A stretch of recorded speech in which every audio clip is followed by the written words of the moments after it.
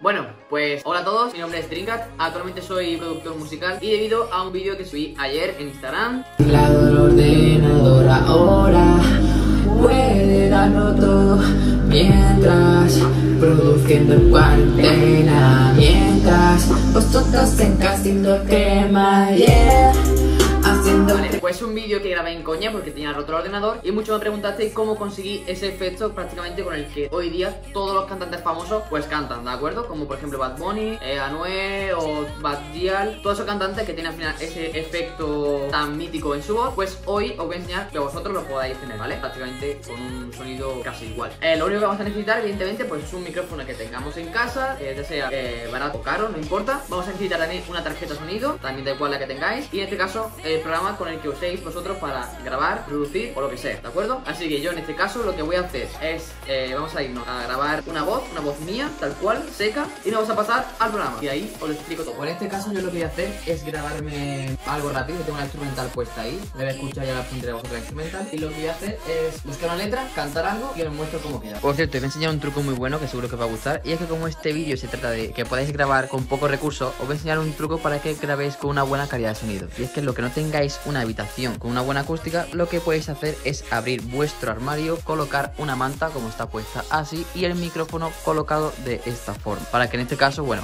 pues no tengáis reverberación en la voz Y tengáis mucha más calidad Yeah, yeah, yeah. mm. Estoy enseñando a cantar y vamos a gozar con el autotune para todo YouTube. Y aquí estamos aprendiendo todo lo que podemos hacer con poco dinerito. Vale chicos, pues ya estamos aquí en el ordenador. Yo en este caso el programa que uso para producir o para grabarte es Logic Pro. Muchos podéis usar el que queráis, tanto Ableton Live como FL Studio, lo que queráis. Yo el que uso para trabajar es Logic Pro. Y ahora aquí tengo ya lo que es la instrumental con lo que es la voz grabada que hemos grabado antes. Y voy a poner con todos los efectos para que escuchéis un poco qué es lo que hemos hecho. En este caso, bueno, aquí tenemos toda la cadena de, de plugin que hemos utilizado. Vamos a escuchar cómo ha quedado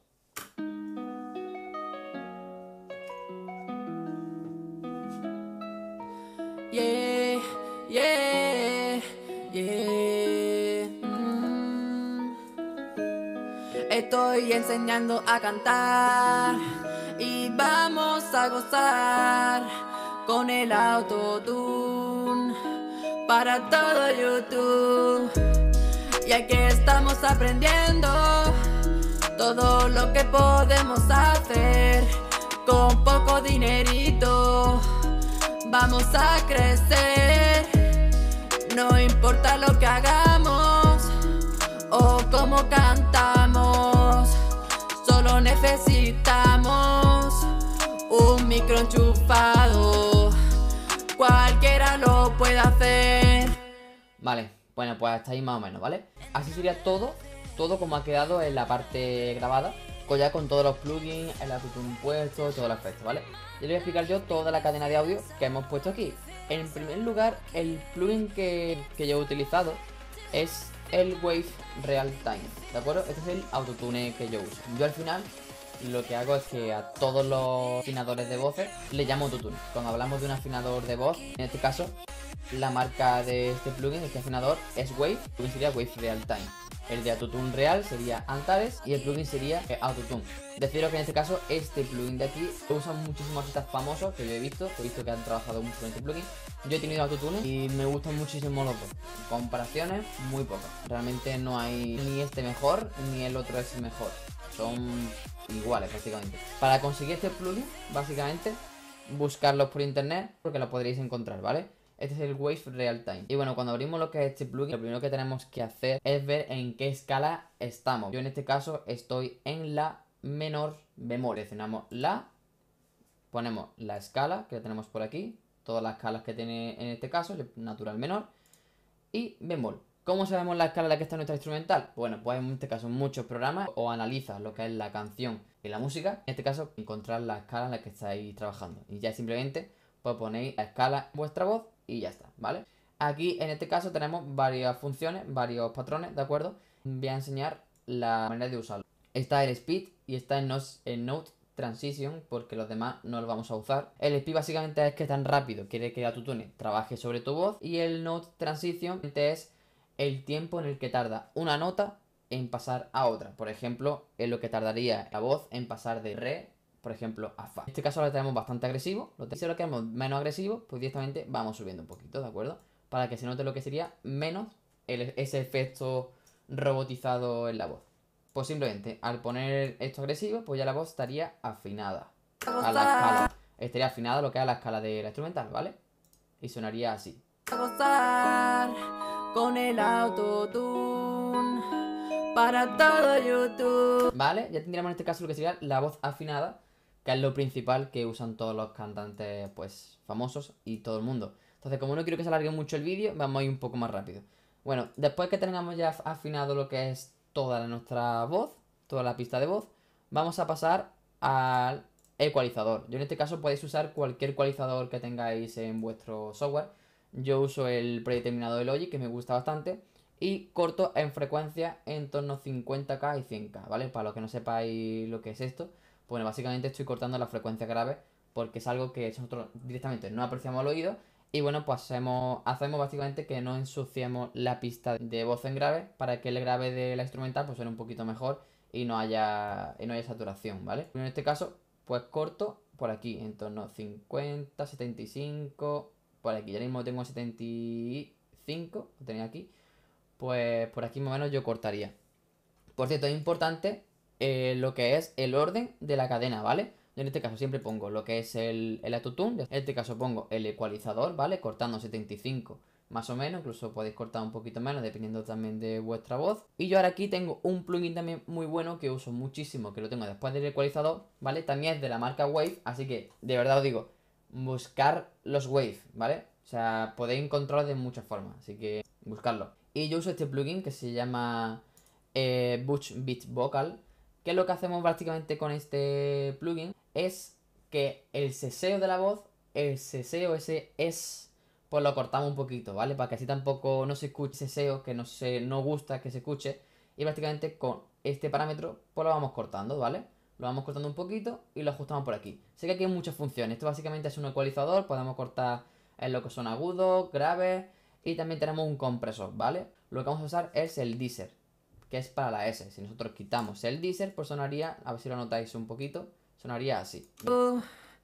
ya que estamos aprendiendo todo lo que podemos hacer. Ese podemos hacer, podemos hacer. Podemos hacer. Si yo pongo el deezer. Podemos hacer. Está como más limpio, no está esa S, está mucho más calmado y es súper importante que tengáis calmado la S en vuestra pista de voz. No es agradable, ¿vale? A la escucha. Entonces tenemos aquí el Butch Beat Vocal y luego en este caso ya pondríamos lo que es la river y el delay. Sé que hay muchos productores porque esta es la forma que tengo yo de trabajar las voces. Sé que hay muchas formas, formas mejor más profesionales. Pero aquí hay otro plugin de, de Wave que yo uso ya predeterminado que ya tiene directamente lo que es la river, el delay y el compresor, ¿vale? Le comprimo un poquito. Y este es un preset ya predeterminado que yo uso para mojar lo que es la voz.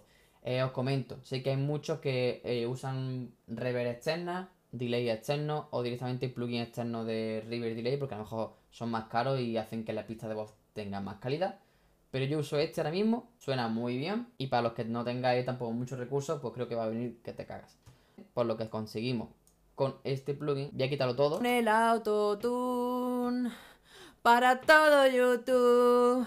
Vale, pues si yo pongo el plugin de la vocal, pues sonaría con River y delay y ya también un poquito comprimida lo que es la voz. Para todo YouTube, ya que estamos aprendiendo. Aquí tenéis también muchos parámetros, o sea que podéis modificar un montón de cosas, ¿vale? Y esto básicamente por dar la river y la air delay, que es el toque único a lo que es la voz, ¿vale? Pues si activamos, en este caso, mira, ya activamos el autotune, activamos el ecualizador, activamos el Butch Beat Vocal para el Deezer, para las S y activamos el Celia Vocal, ya la pista de voz ha cogido el rollo actual de ahora, ¿vale? Con poco dinerito, crecer, no importa lo que hagamos. Ahora también lo que hago es que pongo un compresor en la voz, siempre al final de la cadena, ¿vale? Es lo que yo suelo hacer. Hay gente que lo suele poner en distintas formas, pero yo suelo poner al final de la cadena de audio.